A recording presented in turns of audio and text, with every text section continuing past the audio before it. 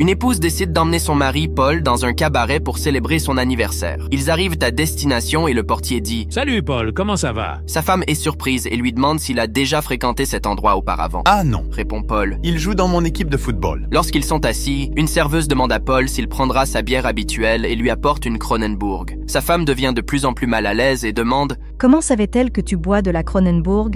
Elle participe à la Ligue de football féminine, chérie. Nous partageons le même stade. Ensuite, une danseuse s'approche, enlace Paul et dit Salut Paul, tu veux ton spectacle privé habituel, beau gosse? La femme de Paul, maintenant furieuse, prend son sac et sort précipitamment du cabaret. Paul la suit et la voit monter dans un taxi. Avant qu'elle puisse claquer la porte, il se glisse à ses côtés dans le taxi.